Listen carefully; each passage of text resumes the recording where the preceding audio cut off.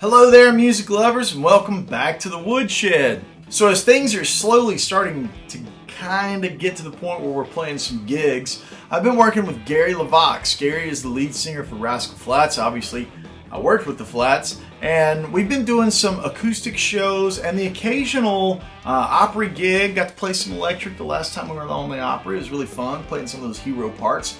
This past weekend, we went up to Kentucky for a private event that Gary was on, and it was Travis Toy on the dobro, the mighty Jim Riley on the drum kit, Mike Hicks handling keyboards. Please take a second before you finish watching this video, go to all three of those guys' Instagrams and just check out how vicious they are. Just some top level elite musicians. That's Mike Hicks, Travis Toy, and Jim Riley. So that was the house band. I was playing acoustic guitar and mandolin, and it was kind of in that like singer-songwriter kind of vibe. We've been doing a lot of that with Gary. So on the way up, I asked my Patreons, I said, you know, what kind of content would you like to see while I'm on the road? And we had a patron that chimed in and said, how about some survival guide for the sideman type of advice? So needless to say, you ask, I am here to supply. And so we had Kelly Clarkson's bus on the way up there. It was kind of funny. It was like themed like, uh, you know, a lot of times in these big fancy buses, they'll like theme them, right? So this one had like Edison lights and it was like the inside of a barn as if it was on wheels and a bus, hardwood floors and all this kind of crazy stuff. Anyways, so I got you guys some footage. For the full interview, jump over to patreon.com slash andywoodmusic.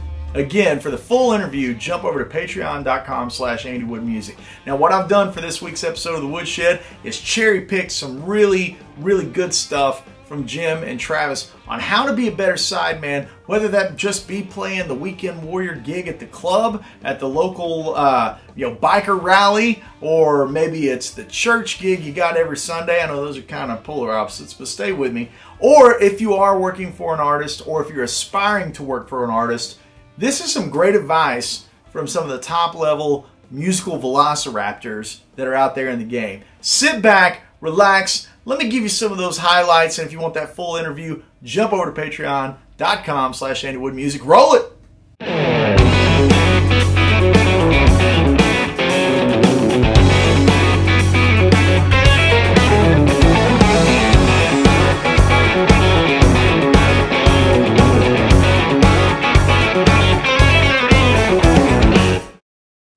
All right, so we're riding up the road here, headed to Kentucky.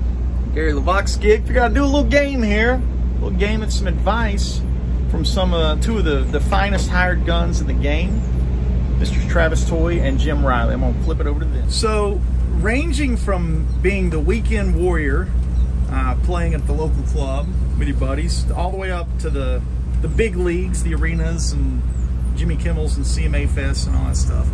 Travis, what would be three points of advice that you would say to be this? Yeah, yeah. One, you could do four. You could do two. But what would be some points of advice for the side man? and, and uh, just how to thrive in that role. Yeah. What What would be uh, What would make you uh, outside of just thriving? Like, what are things like lessons learned, things to take note of outside of the obvious? Yeah. I think uh, I'll be. This may be the first time I've not been sarcastic in one of your videos, Which is good. giving actual advice. Um, I think an an overlooked thing by a lot of younger guys is just the fact that, um, and Jim and I have experienced this with, with different people, that one of your biggest jobs as a sideman is to make sure you are pushing positive energy towards your artist. Um, no artist in the world wants to turn around and see, you know, not necessarily guys who don't look like they want to be there, but just who are not contributing to the positive energy and all those things on the stage. Um, 'cause, yeah, I mean, if you're a front man, you know, and you turn if you turn around, you want to see your band's having a great time. You know, they're they're you know whatever their role is. You know, some depending on the configuration, sometimes you're in the back. You're not really supposed to be in front. If that's the case, you still though have to be participating in the vibe and the energy. Sometimes it's your job to get out and hot dog and run around and do the stuff. You know, play solo, whatever. That's great too, and it's easier to do in that aspect because you feel like you're you're up there and you're involved. But it's yeah, it's not hard to do when you're in the background, but it's something you have to keep in mind. I think I've always- gigantic role. I've always thought about that. I've always thought about the fact that we never really knew everything that, you know, the Rascal Flatts guys were going through, how many interviews they had to do, how many uh, radio station uh, meetings they had to go to, and, you know, what was going on in their life and, and how much of a deficit for energy they were at. And so I always felt like personally, from even from behind the drums where I almost never got to get out in front, I felt like it was my job to have an excess of energy to, you know, to fill any gaps that might be where they're at. I felt like that was part of my role. So I, I yeah. Travis uh, said something to me. Um, we were talking about playing on people's uh, records, you know, and we've both had the opportunity to play on some really big records, and yet we also have the opportunity frequently to play on not big records and small records and records that only matter to the people that are making them and the people that love them. And some of them are good and some of them are bad. And something that he pointed out to me that I that I, I really took to heart was, you know, just because a song's bad doesn't mean you have to sound bad. Doesn't mean you can't give every bit of your heart into that performance. And you know, I, take that from the studio perspective, but especially on the live perspective. You know, no matter what my surroundings are, I want to play it with the same confidence and heart that I would play if I was playing a big arena show. And I always used to think about when I would be in a club, if, if I was, if, and this would happen a lot, where there would be five people in the club. I would imagine that one of those people was the person that could change my life. And that could be the person that could th- offer me the gig that changed my life. And you know what? Eventually it was. Yeah. Yeah, yeah. That's good. Switch the angle. little little topic you guys have heard me say a lot. Two is one and one is none. If you've got one guitar cable and that's all it, it takes for you to plug in, you better take two. If you got one battery in your backpack, you better better take two. You know that, that kind of just Yeah. over preparedness on the gear side, that never goes away. From the from your first gig at the smallest place, from your high school talent show, all the way up to the biggest gig you ever play, and that's where you actually start to see there is a, a point in a career where you physically can't take an inventory of the things you need, and that's where guitar techs and drum techs.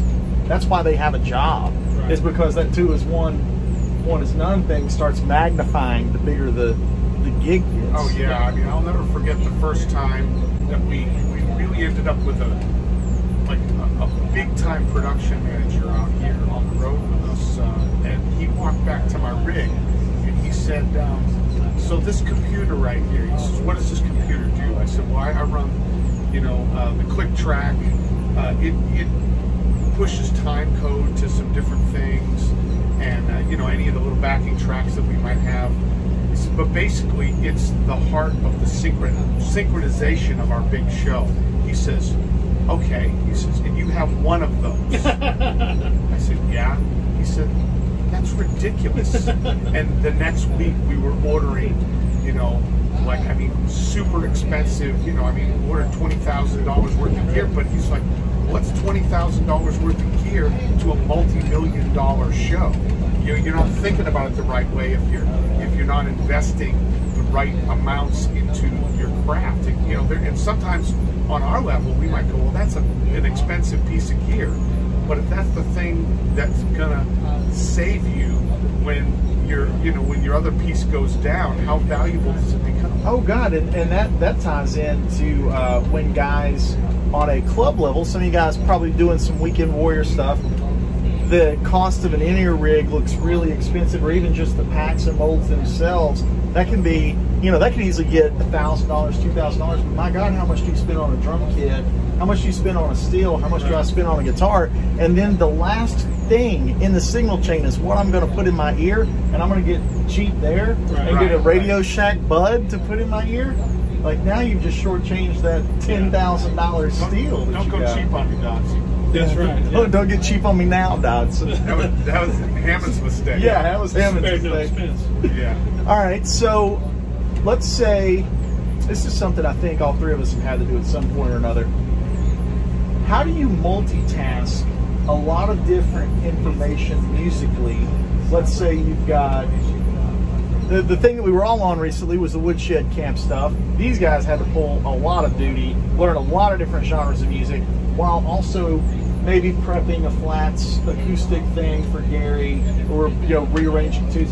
How do you compartmentalize and what are some tips that maybe you could give these guys for just retaining information? Because I think we at, at a level where you're we're in the game and you do it 24 hours a day, it's different. But like I think it's still hard for guys on the weekend to memorize a couple hundred tunes for a week Travis and I actually prepared differently for the woodshed. I'll let him explain what he, he was doing on the woodshed. Like woodshed specific, so like that's an interesting role for me. I'm playing with, I'm a steel player, but that's which is normally not a rhythm section instrument.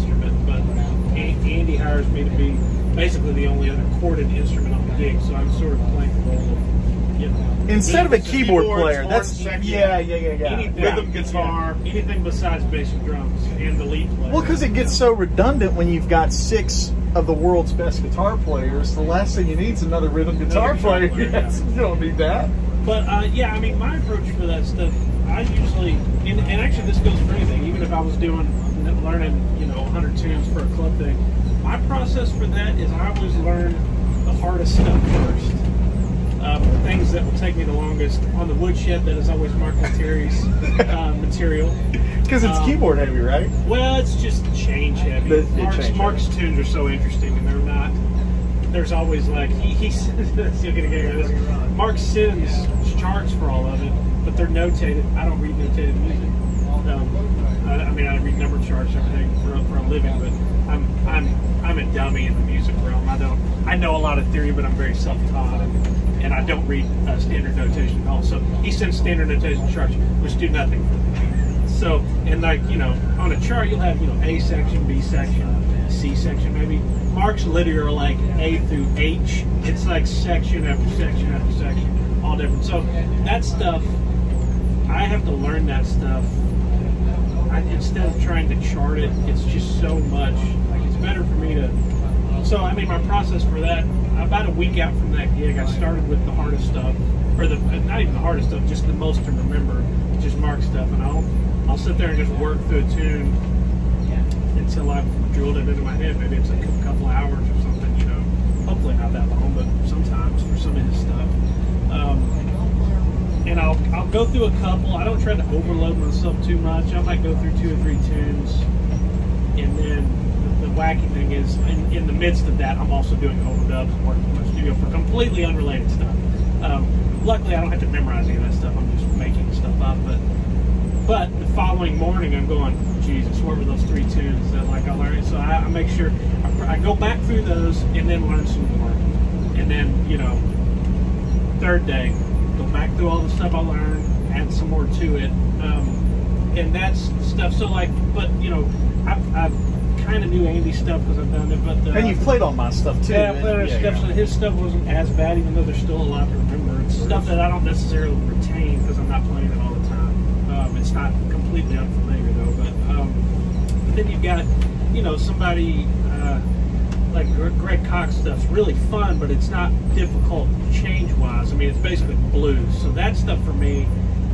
I mean, I, I listen to it basically and go, okay, that'll be fine. Like, I don't even, there's really nothing to remember. It's standard, you know, form like blues stuff. Um, I don't know, that's my, pro- I always start with the, the hardest stuff. If, if I was going to learn a country show, you know, that's like not crazy fusion stuff, I always start with the hardest stuff. What are the songs I have a solo in? What are the songs that I have a lot of fills in or something? I'll always start with those because there's always some where I don't necessarily have a big role in. Those are the ones I'll I'll push to the end because there's not either there's nothing to remember or there's very little to remember. Uh, so that's my process. I start with the most the hardest stuff and then work down. And also honestly too, that way I always do have the, if I'm kicking something off or solo, that way if I've run out of time, the things that I kept to the end were the simplest things, and maybe it's some stuff that I can just wing my way through. You know? I didn't Yeah. necessarily have to listen to it, you know, where I can look at somebody that can be going, yeah, yeah. throwing me, you know, like in the moment. So that's my process. Yeah. So going back to like 22 years ago when I was prepping for the Rascal Flatts thing. I was playing with uh, nine, 90s artists. Was almost just finished the 90s. I was playing with Mark Chesnutt, and then Chesnutt gig. Chesnutt. And um, so I was playing with Mark, and um, I was also playing with uh, Shelton, Hank Williams three, Hank three, and um, I was playing with them at the same time and prepping for the Rascal Flatts gig. I had about two weeks to, to get ready, and so my process. The first thing that was actually interesting, that even though there's a lot of guitar players here, I will share this with you. When I was playing with Mark, I was even as a professional, I was really unhappy with the ergonomics of my setup. So one of the things that I did when I when I started with Rascal Flatts was I completely tore my drum set down to nothing. Started with a drum throne, added the snare drum, added the bass drum and the hi hat, added the ride cymbal, which is you know a really important timekeeping uh, instrument for me and then added everything around that. And, and, and that was actually the moment where I kind of really changed my drum set to an ergonomics thing. But the other thing I did was I charted everything out. And, and, and as a drummer, it's uncommon to, to, to do it this way, but I'm actually always charting everything out in Nashville Number System charts because for me, I'm not as concerned about what the drum part was or what the drum part might be. I'm more concerned with what everybody else is going to play, and oh, that Oh, yeah. helps me realize what it is that I need to play. Yeah. So that no matter what I'm playing, whether it's the most difficult stuff or the simplest stuff, that I'm always playing for the song. So I chart, I, I chart everything, and if it's if it's a simple song, in some ways, I feel like the chart's more important because Yes. it's the little differences that that make make the difference. Great thing about a Nashville number system chart is if you understand the system, you you know that you're in an A section and you know you're in a verse, depending on what kind of form it is. You know, you can look up and away for that entire section, and then and then look back when things are going to the next section. I think the key is, um, as a sideman, is to always be looking and thinking ahead. a lot of guys out here that may not know what the Nashville number system is in, in, in my little woodshed community. Uh, Jim literally wrote the book on it. So, Jim, where can they get that book if you want to know what we're talking about? Um, so I wrote a book called Song Charting Made Easy. You can, if you put Jim Riley on Amazon, it would be the you know the first or second thing to pop up. But it's a great system. You know, the music theory of the music that we play, it's always there whether we want to acknowledge it or not. And uh, no matter what instrument you play, and I, I stress this particularly with drummers, you know, the more you know about the music that you're playing, the more you fully understand it, the better you can serve the song. It really doesn't matter if you're sitting at your house playing Crazy Train every Saturday, like, or if you're playing with Ozzy every Saturday. Bringing the best version of yourself forward uh, ties into the very first thing that Travis said, which is like having great energy. He completely missed that, by the way. It, it was I wasn't going to rat on him, but he did. But tying it, tying in that best version of yourself, uh, that energy, that that's that's infectious. Like the best version that you can put out when you start with yourself translates to the guy that you're on stage with, that's your drummer. Translates to your steel player. Translates to your artist that you're working for. Or if you're the artist, I think it's important that you push good energy. No matter what as you pinnacle you, get to in your career, That's you it. always have to continue to improve. I think about it like when you're at the airport and you got those people movers. Yeah. If you're standing still, you know, like like here, people are always moving forward. So when you think you're standing still, people are moving ahead of you. Yeah. You know, everyone is always progressing. So if you're not progressing, you're actually falling behind. Yeah. So, you know, it doesn't matter what place you are at in your career, you always want to be constantly improving at your craft. Yeah. All right, thank you guys for hanging out this week in the woodshed. If you're looking for dates that we're going to be playing, if you're looking to score some tabs and transcriptions, or if you're looking to buy a bundle that comes with the Axe FX patch, the tablature, the guitar profile, the backing track, or maybe if you're looking to find out where we're playing, jump over to andywoodmusic.com. We got an email list there that you can sign up for. That's also if you're interested in maybe booking a private lesson with me or any kind of that kind of stuff, jump over to andywoodmusic.com.